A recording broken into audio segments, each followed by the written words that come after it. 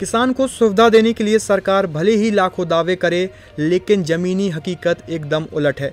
इस बात से सहज ही अंदाज़ा लगाया जा सकता है कि लाखों की लागत से कृषि उपज मंडी में बने किसान रेस्ट हाउस का आज तक ताला ही नहीं खुला।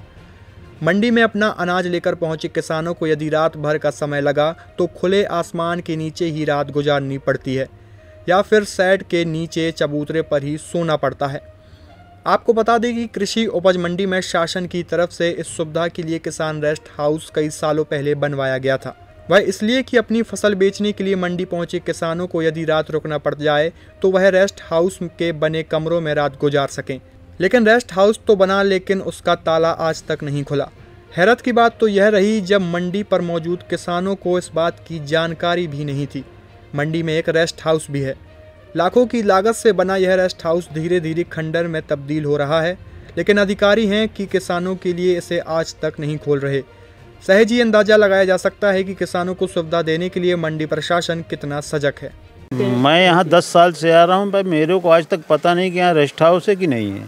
तो मान लीजिए, आए दिन यही दिक्कत है, रात में कोई व्यवस्था नहीं रहती है, मच्छरों से खिलाओ, और क्या? किसान किस तरह परेशान होता है रात में? भाई रात में बताइए कि मच्छर चापते हमको पता नहीं कि रेस्ट हाउस बना है वहाँ पे कोई व्यवस्थाएँ नहीं है हैं? गवर्नमेंट के जो योजनाएँ हैं वो फालतू पड़ी हुई हैं कोई यूज़ हो नहीं रहा उसमें ताला लगा हुआ है। किसान परेशान है? बिल्कुल परेशान है किसान। व्यवस्थित रखा गया है उसमें सब उनके लिए व्यवस्थाएँ हैं हमारे पास गद्दे वगैरह भी हैं जो जिसको आवश्यकता होती है, अगर यदि उसके द्वारा मांग की जाती तो उसको उपलब्ध भी कराया जाता है। किंतु ज़्यादातर चूँकि अभी तक ऐसी स्थिति निर्मित ही नहीं हुई कि किसानों के द्वारा इसकी मांग की गई हो, जो उनके द्वारा फ़सल लाई जाती है, उसकी उसी दिन नीलामी तौल हो जाता है, जिस वजह से उनको भी इसकी आवश्यकता नहीं महसूस हुई।